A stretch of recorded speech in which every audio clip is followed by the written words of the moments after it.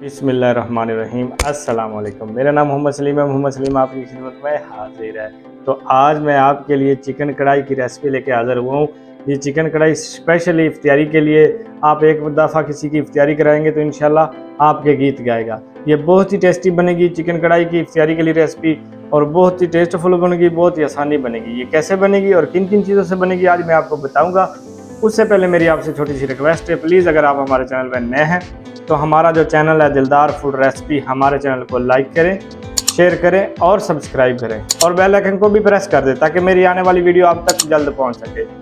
तो वीडियो की तरफ़ चलते हैं। यहाँ पे मैंने, आप देख सकते हैं, वन के जी मैंने चिकन लिया है।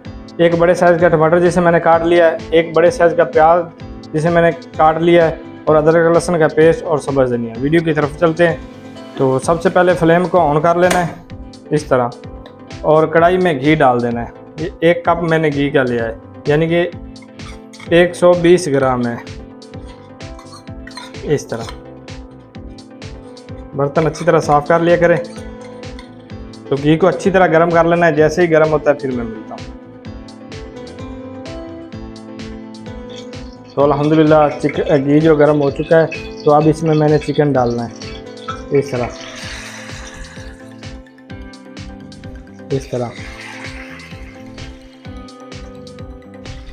इस तरह।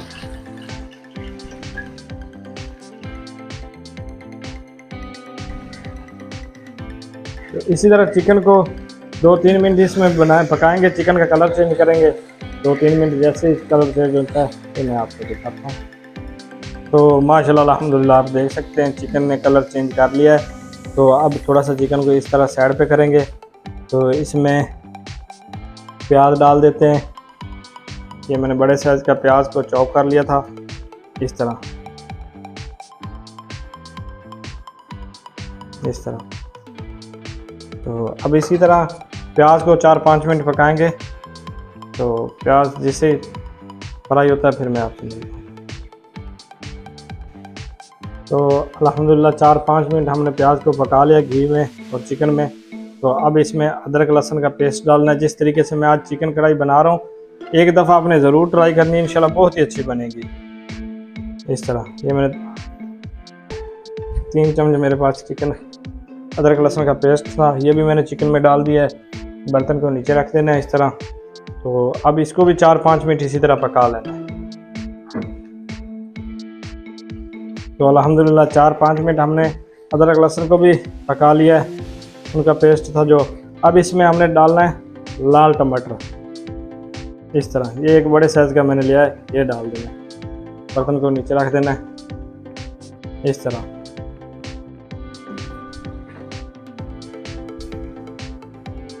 इस तरह। अब इसको भी चार पाँच मिनट इसी तरह पकाएँगे। तो माशाल्लाह, अल्हम्दुलिल्लाह, आप देख सकते हैं टमाटर, अदरक, लहसुन का पेस्ट और प्याज अच्छी तरह भून चुके हैं। यहाँ पे आप देख सकते हैं घी भी चिकन ने घी भी छोड़ दिया है। यहाँ पे आप देख सकते हैं। तो अब इसमें कुछ मर्ज मसाले डालने हैं। यहाँ पे आप देख सकते हैं, वन टीस्पून मैंने कुटी मिर्च ली है, हाफ़ टी स्पून मैंने हल्दी पाउडर लिया है, हाफ़ टी स्पून मैंने कढ़ाई गोश्त मसाला लिया है, हाफ़ टी स्पून मैंने नमक लिया है।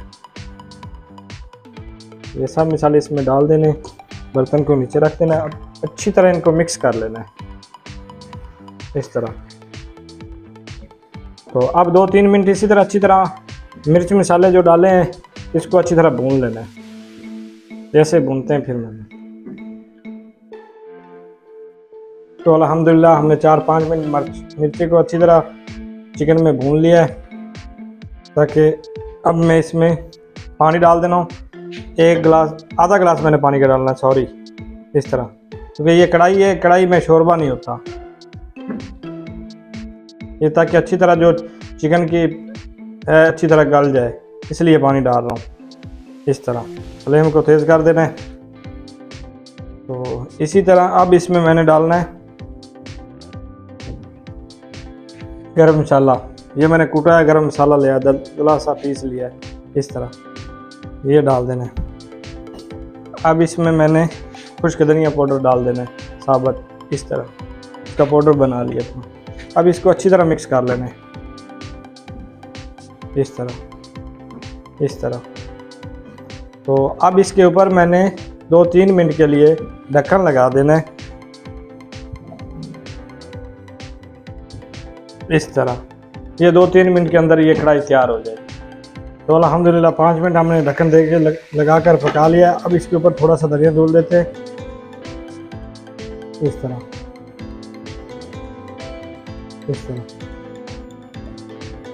अब फिर से इसके ऊपर बंद फ्लेम को बंद कर देते हैं।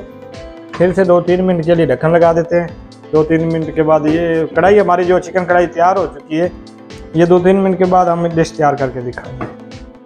तो अल्हम्दुलिल्लाह, अब हम डिश तैयार करते हैं। माशाल्लाह, आज की जो चिकन कढ़ाई की रेसिपी है, बहुत ही अच्छी तैयार हुई है। तो बहुत ही अच्छी खुशबू आ रही है। यहाँ पे आप देख सकते हैं। इस तरह।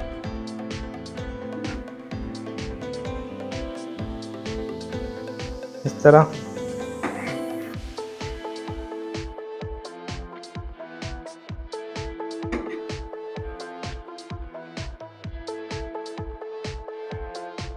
इस तरह।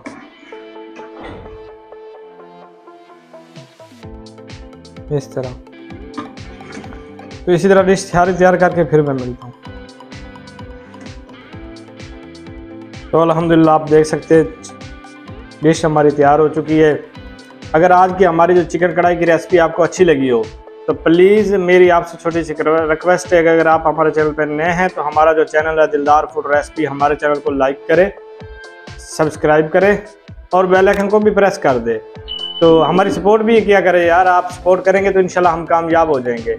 ये आपकी सपोर्ट से हम कामयाब होंगे। मेहरबानी किया करें, हम आप आप हमारी सपोर्ट भी किया करें। तो आप मुझे दीजिए इजाज़त, अपना ख्याल रखना तो आप मुझे याद रखना। मैं भी अल्लाह ताला से ये दुआ करता हूँ कि आप जहाँ भी रहें, खुश रहें, आबाद रहें, हँसते रहें, मुस्कुराते रहें। अल्लाह पाक आपको दुनिया और आखिरत की तमाम खुशियाँ नसीब फरमाए। अल्लाह हाफिज़।